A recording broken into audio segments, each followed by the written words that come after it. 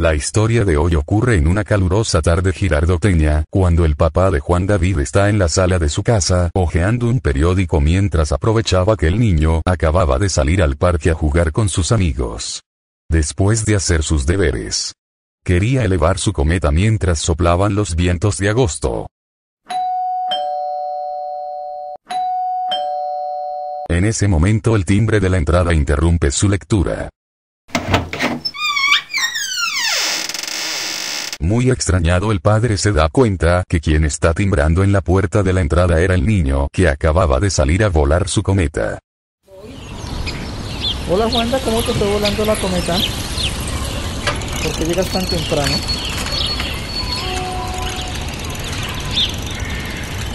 Hola papi, ¿cómo has estado?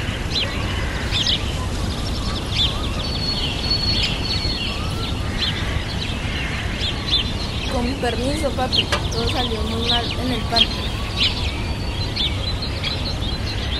Siga Juan David, ¿qué pasó? Cuéntame lo sucedido.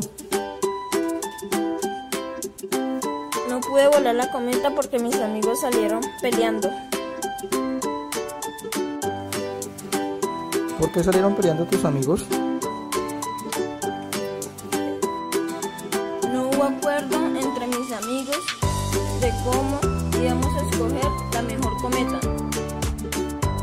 Lo importante de cuando uno sale con los amigos es de pasar un buen rato y compartir con ellos. Bueno papi, ellos no entienden eso y se pusieron a pelear. Una de las normas básicas para solucionar un conflicto es crear confianza entre las personas, escuchando respetuosamente sus puntos de vista. Tienes razón, pero lo, lo que pasa es que no sabemos cuál es la mejor cometa. En ese momento el papá de Juan David se percató que el problema de los niños era la falta de diálogo y esta era una oportunidad para enseñarle a los pequeños lo importante que es la cortesía para llegar a un buen entendimiento entre varias personas. Cada cometa tiene un propósito, lo importante es que con ella se elevan tus sueños.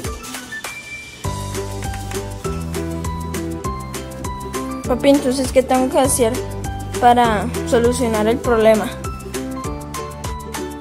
Les aconsejo el diálogo, que es un recurso que facilita la comunicación entre las personas. Por lo tanto, permite que en una conversación podamos intercambiar ideas, información, pensamientos, sentimientos y deseos. Los niños no habían acordado claramente que iban a tener en cuenta para determinar cuál era la mejor cometa entre todas.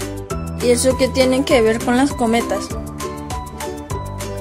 Que todos los integrantes en el grupo expongan sus ideas y sentimientos libremente sin ser interrumpidos. Por lo tanto, nadie puede dominar la discusión. Todos los integrantes escuchen a los demás para comprender y encontrar las bases para un acuerdo. Las personas reciben y responden a las observaciones de los otros de manera respetuosa y honesta. Entonces me voy a devolver al parque para dialogar con ellos y ponernos de acuerdo con las cometas. Gracias papi por tu consejo y un besito. El permitir hablar a las otras personas sin interrumpirlas, escuchándolas con respeto y atención para evitar malos entendidos, es tan importante como la buena voluntad de querer un acuerdo. Este fue un podcast de Juan David Navarro, estudiante del grado 501 de la Normal Superior María Auxiliadora C de Girardot, para evidenciar la estructura del diálogo en familia y las normas de cortesía. Nos encontraremos en una próxima oportunidad. Hasta pronto.